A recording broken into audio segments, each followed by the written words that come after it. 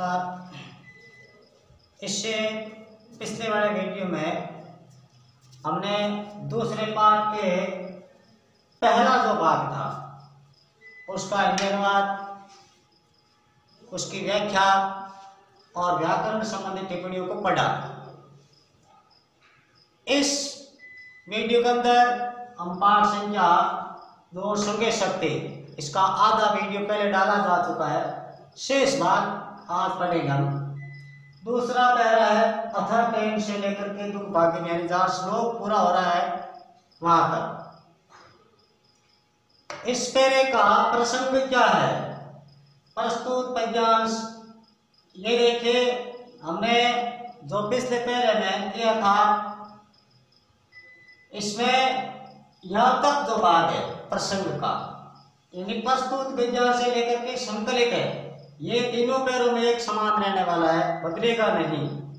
बस, इसमें आगे जो मूल बात क्या है तो आगे मुख्य बात इस पैरे में गुरुजनों की अविज्ञा यानी उसकी आज्ञा का पालन नहीं करना, और एकता के साथ किया गया प्रयास, और किसी शिकारी द्वारा चावलों के दानों को किसी निर्जन स्थान पर बिखेरने का इस विद्यास के अंदर तीन बातें पहले तो गुरु की आज्ञा का पालन नहीं करना कबूतरों द्वारा। दूसरा शिकारी द्वारा दानों के दानों को बिखेरना तीसरा, एकता के साथ कोई काम करने पर उसमें सफलता निश्चित रूप से मिलती है। ये तीन बातों का वर्णन है इस पैरेग्राफ में। तो हिंदी अनुवाद है अथते फिर उस व्याध व्याध का मतलब शिकारी होता है। चावलों के कणों को फेर कर जाल को फैलाया। पिछले वीडियो में हमने यहाँ तक अध्ययन किया था कि कौवा जगा और कौवा फिर सुबह सुबह उसने जब देखा तो शिकारी को देखा उसको लगा कि आज पूरा दिन खराब चलेगा, ऐसा सोच कर वो शिकारी के पीछे पीछे चला। उसके बाद क्या किया तो फिर उस शिकारी ने क्या किया? तो मैंने देखा कि वह शिकारी ने चावलों के दानों को भी फेरा। जाल को फैलाया और स्वयं शिकारी छिप करके बैठ गए। उसी समय आकाश में परिवार सहित उठता चित्रग्रीव जिस दल का मुख्य था, उस कबूतरों के दल के प्रमुख का नाम है चित्रग्रीव और कौवे का नाम था, जो पीछे हमने पढ़ा था, वो याद रखना है। चित्रग्रीव ने नाम के कबूतरों के राजा ने बिखरे हुए चावल के दानों को देखा। और इसके बाद कबूतरों द्वारा चित्रग्रीव ने चावलों के लोभी कबूतरों से कहा। इस चित्रग्रीव ने पहले तो चावलों के दानों को देखा और वो राजा था, इसलिए समझ रहा था। तो उसने फिर अपने साथ जो भी थे, उन कबूतरों से कहा ठर इस जन अर्थात निर्जन जहाँ पर कोई रहता नहीं हो, ऐसे स्थान पर चावल के दाने कहाँ से आए? जहाँ कोई रहता ही नहीं, फिर चावल कहाँ से आए? तो पहले इसको देख लेना चाहिए कबूतरों के दल प्रमुख ने सभी कबूतरों से कहा, कि ठहरो एक बार हमें चावल के दानों को खाना नहीं है। पहले भली भांति देखना चाहिए कि इस निर्जन जंगल के अंदर चावल के दाने किसने डाल दिए। फिर उसने कबूतरों से कहा, सभी कबूतरों से कभी भी बिना विचारे कोई काम नहीं करना। है विचार तुम कर्म न कर्तव्यम। बिना विचारे कोई भी काम नहीं करना। चाहिए यह वचन सुन करके जब कबूतरों के दल प्रमुख ने सभी कबूतरों से ये बात कही कि बिना सत्य सत्य काम नहीं करना। चावल के दाने सुनसान स्थान पर आए कहाँ से? पहले देर को ठीक प्रकार से। जैसे ये बात सभी कबूतरों से कही तो उस दल के अंदर एक अहंकारी घमंडी कबूतर था। जिसको अपने पर खुद पर बहुत बड़ा घमंड था, उसने तुरंत कहा, ये बात श्लोक के ईर्षि घृणी क्रोधी तब संतुष्ट हो। ऐसे पाँच छह लक्षण बताए उस कबूतरों के अंदर से। एक कबूतर जो घमंडी था। उसने कहा, ईर्ष्या करने वाला, दूसरों से घृणा करने वाला, असंतोषी, क्रोधी, सदैव संदेह करने वाला तथा दूसरों के भाग्य पर जीवित रहने वाला। ये छह प्रकार के आदमी के अंदर जिनके अंदर लक्षण होते हैं वो सदैव दुखी होते ऐसा उसने अट्टहास पूर्वक उपहास करते हुए, दल प्रमुख चित्रगृह का उपहास करते हुए ये श्लोक बोला कि छह प्रकार के लोग कौन कौन से? तो पहला है ईर्ष्या करने वाला, दूसरा घृणा करने वाला, असंतोषी, क्रोधी, संदेह करने वाला, दूसरों के भाषण पर चित रहने वाला। ये छह प्रकार के लोग सदैव दुखी होते हैं। ऐसा चित्रगृह जिस दल का प्रमुख था, उस दल में से किसी एक घमंडी कबूतर ने कहा, अब इसके अंदर ये तो इस पैराग्राफ का हिंदी अनुवाद हो गया। अब इस पैराग्राफ में कुछ शब्द आए हैं जिसकी व्याकरणात्मक टिप्पणी मैंने की है यहाँ। विक्रिय विक्रिय शब्द है, इसके अंदर तीन चीज़ें दी उपसर्ग है क्री धातु है और यक प्रत्यय जिसके योग से शब्द बना विक्रिय जिसका मतलब होता है बिखेर कर बिखेर कर ये कर कहाँ से आया? तो जब प्रत्यय लगने से धातु का करके होकर ऐसा हो जाता है। विस्तीर्णम, इसमें भी से लगे त्रि धातु और ल्यूट पढ़ते हैं। और ल्यूट पढ़ते के अंदर द्वितीय विभक्ति है, एक वचन, जिसका मतलब होता है फैला दिया। प्रसन्न भूतवा इसके अंदर प्र उपसर्ग है चित धातु है। है प्रत्यय प्रसन्न के अंदर इतने के अंदर प्रचित फिर भूतवा के अंदर भू उपसर्ग और तत्वा करते प्रच्छन्न भूतवा छिप करके। नियति आसमान में आकाश में विसर्पन उड़ते सह परिवार, परिवारेण सहितम। इसके अंदर अविभाव समास है सह परिवार सह का जो शब्द है, वह अव्यय है, जिसका मतलब होता है साथ में। परिवार के साथ परिवार ये बात ध्यान में रखनी है। परिवार सहितम सह परिवार अर्थात अविभाव समास है, जिसका मतलब होता है परिवार के साथ। निर्जने इसमें भी नि उपसर्ग है, धन धातु है। इसमें भी उपसर्ग है अविभाव निहि जना नाम अभाव है। जहाँ पर कोई व्यक्ति नहीं रहता हो, ऐसे स्थान को निर्जन कहते हैं। इसके अंदर भी अविभाव समास है जैसे हमने यहाँ किया था, परिवार सहित, उसी प्रकार ये तो संधि विच्छेद है, जिसके अंदर शब्द विसर्ग संधि है नहीं प्लस जना और इसका समाज विग्रह अगर हम करेंगे तो जना नाम अभाव है। जहाँ कोई नहीं रहता जना रहे भद्रम, अर्थात कल्याण। इस पद्यांश, गद्यांश का हम स्क्रीन शॉट लेकर के और काम कर सकते हैं।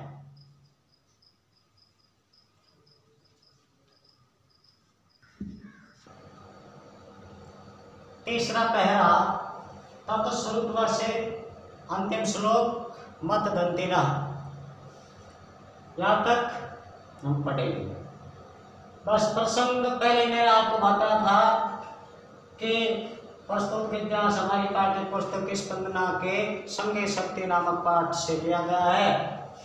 मित्रलाल, जो हितोपदेश का एक भाग है, उसके अंदर से संकलित है। ये यहाँ से यहाँ तक तीनों गद्य समय समान है। आगे मूल बात प्रसंग में क्या है? तो इसमें गुरुजनों की अवज्ञा का दुष्परिणाम। गुरुओं की आज्ञा का जब हम उपयोग नहीं करते हैं ठीक से, अवहेलना करते हैं। उस समय उसके दुष्परिणाम क्या हैं धैर्य और एकता के श्रेष्ठ फल का वर्णन है धीरज रख करके किसी काम को कैसे करना? उसका फल कैसे मिलता है? और कबूतरों के राजा की शंका का अनादर करने से कबूतरों को शिकारी के जाल में बंधने और धैर्य एकता के साथ जाल को लेकर के उड़ने का वर्णन। धीरज और एकता के साथ जब कबूतरों के दल ने पहले तो उसकी आज्ञा का पालन नहीं किया, लेकिन बाद में कबूतरों के राजा की आज्ञा का पालन करके उसको जैसा उन्होंने निर्देश किया, वैसा वैसा काम किया तो वो संकट से उबर गए। अब इसका अनुवाद क्या है? उसके बाद उसके वचन सुनकर के कबूतरों के राजा की संहिता का अनादर करके सभी कबूतर चावलों के कणों को चुगने के लिए वहाँ बैठ गए। अब ये जो पिछले भाग में हमने पढ़ा कि छह प्रकार के लोग होते हैं जो सदैव दुखी रहते हैं। ये बात कबूतरों के किसी ने कहा तो सभी कबूतरों के मन में ये बात आ गई और उन सबने चावलों को दानों को खाना था। इसलिए वो सभी उनकी आज्ञा का अनादर करते रहे और जाकर के उस चावलों के दाने दाने पे थे, वहाँ उस पर बैठ गए। इसके पश्चात सभी कबूतर जाल में बन गए, क्योंकि शिकार ने जाल फैला रखा था। और जाल में बन गए। इस सभी, इसके बाद जिसके कहने से, अर्थात जो घमंडी कबूतर था, जिसके कहने पर वे उस जाल में कबूतरों ने दालों दालों को चुगने के लिए बैठे थे, उसका अनादर करने लगे, उसकी निंदा करने लगे कि ये घमंडी स्वभाव का है, जिसने राजा की आज्ञा की अवहेलना की है। ऐसा करके उसको डांट के डपटने लगे। यह बात सुनकर के, उसकी निंदा सुनकर के कबूतरों के दल प्रमुख चित्रकरी ने कहा, इसमें इसका कोई दोष नहीं है। विपत्ति के समय घबरा जाना तो कायर मनुष्य के लक्षण है। जो आपत्ति संकट आने पर घबरा जाता है, वे सभी कायर पुरुष होता है। इसलिए इस समय धैर्य रख करके उपाय हम सबको सोचना चाहिए कि इस विपत्ति का सामना कैसे करें, उसके बारे में। अब भी ऐसा किया जा सकता है। इस संकट से हम अभी भी उभर सकते हैं, ऐसा दल प्रमुख चित्रगिरी ने कहा। हमें क्या करना चाहिए? तो दल प्रमुख ने कहा, जाल को लेकर के उठ जाए। हम सभी लोग जिस जाल में बंद है, अधिक मात्रा में है, इसलिए जाल के बाहर पास हम इस लेकर के उठ सकते हैं। ये बात सुनी जैसे कबूतरों ने तो उनके मन में कुछ उत्साह जगा और ये सुनते सभी कबूतरों ने एक साथ ज़ोर लगाया। और उस जाल को लेकर के उड़ गए। इसके बाद जब शिकारी ने कबूतर को उड़ते हुए देखा, जाल को लेकर के तो वह भी उसके पीछे पीछे दौड़ा। तत्पश्चात जब कबूतर आँखों से ओझल हो गए और शिकारी वापस लौट गया। उसको कबूतर भी नहीं मिले और जाल भी चला गया। इसलिए कहा जाता है, अल्पा नाम वस्तु नाम अपनी सहती कार्य साधिका। नाम गुणत्वापने बद्धते मत दंतिना छोटी छोटी जो चीज़ें होती है, वो भी बड़े बड़े काम को सिद्ध कर सकती है। छोटी छोटी वस्तुओं का संग्रह अगर किया जाए तो उनसे बड़े बड़े काम सिद्ध हो सकते हैं। जैसे घास फूस के छोटे छोटे एक एक एक एक तिनके को मिला करके जब रस्सी बनाई जाती है तो बड़े से बड़े हाथी को भी उनसे बांधा जा सकता है। अर्थात एक हाथी को भी घास फूस के छोटे छोटे तीन के बांधने में समर्थ हो जाते हैं। कब? जब वो बहुत अधिक मात्रा में होते हैं, उनमें संगठन होता है। अब इसके कुछ कठिन शब्द व्याकरण संबंधी टिप्पणियाँ है। अवलंबिता। अवलंबिता इसके अंदर अवसर्ग है और लंब धातु है। टाप और त दो पढ़ते हैं। टाप पढ़ते से तो अवलंबित से अवलंबिता बना। और उसके बाद विसर्ग भी है तो ये कत पढ़ते लगने से विसर्ग लगा। वैसे प्रथमा बहुवचन का है, शब्द जिसका मतलब होता है जाल में बंद गए। विपत्ति काले, आपत्ति के समय, संकट के समय, कष्ट के समय विपत्ति है अवलंब्य, इसमें भी अवसर के लंब धातु और व्यक्त प्रत्यय के योग से बना है अवलंब्य। जिसका मतलब होता है धारण करके। प्रतिकार है समाधान। एक चित्ती भूया, एक मन वाले समान जिनका मन हो, वो। आधार, इसमें अवसर के दा धातु और व्यक्त बनते जिसका मतलब होता है लेकर के। मत दंतिना है मदमस्त हाथी। ये कुछ कठिन शब्द और व्याकरण तो अब इस पाठ के अंदर है। जो तीनों पैरे हैं। पहले एक वीडियो में पहला अंतरा डाला, पहला पैरा डाला हुआ है। शेष दो पैरे हम इस वीडियो में पढ़ रहे हैं। इन सब पैरों को एक साथ, जैसे मैंने यहाँ लिखा पहला, इसी प्रकार पहले आदमी को लिखना, जैसे मैंने ये लिखा स्क्रीन शॉट लेकर के हम सबको कठिन शब्द और हिंदी अनुवाद, ये सब करने हैं। हल। इस प्रकार इस पाठ को हल करेंगे।